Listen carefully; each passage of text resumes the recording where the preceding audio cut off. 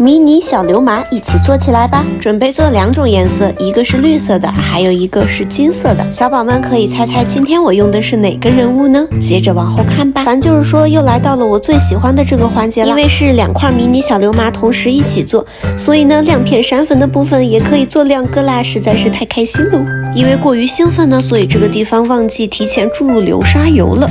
但是效果竟然出奇的好哎，一点都没有挂壁，咱也不知道是什么原理，有没有小宝可以出来解释一下？快看呀，今天的配色不多不少，真的刚刚好，好喜欢哟！你喜欢哪个呀？嘿嘿，今天选择的是 Q 版的光与夜里面的人物哟。抠图的部分实在是太漫长了，所以我在没有拍视频的时候就默默的抠掉了。接着就来到了最后的复版环节喽。哦，对了，在复版之前，因为我担心这个贴纸会透，所以提前用钢化封层去封了一个边。音乐起。心随着你动，特别的晚风遇见了特别的你，特别的爱只因为你才有意义。